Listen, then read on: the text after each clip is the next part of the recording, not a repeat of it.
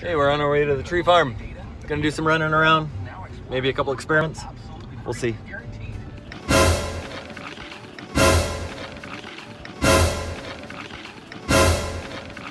All right, we're at the tree farm today again, but very nice day.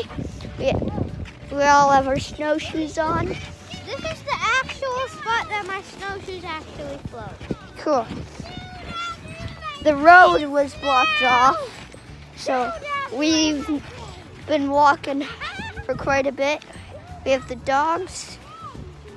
We just got in and we saw this cardboard box. That's so weird. Just a box on a tree. Uh, well, we met the McLeods out at the tree farm here. It's a cool spot in the middle of the prairies where we're just out to explore.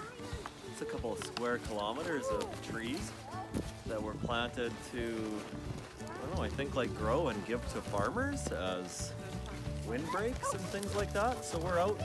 We've got our snowshoes on, I've got some skis on, and we're just gonna see what we can do. We're headed into the deep part of the tree farm right now. So cool. All the trees are so tall. Might see some porcupine. It's pretty cool out here. Oh, it's pretty cool out here. There's so much powder. Like, actually a good place to wear snowshoes we found in this opening where they'll actually keep you above above the snow here. I'll help you. Hey, it's beautiful. All the trees have puffs of snow on them. It's really beautiful.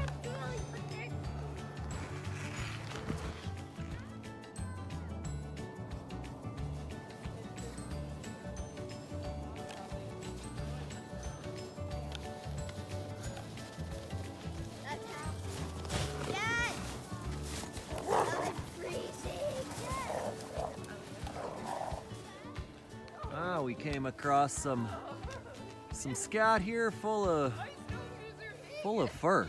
Full of fur. What do you think that means?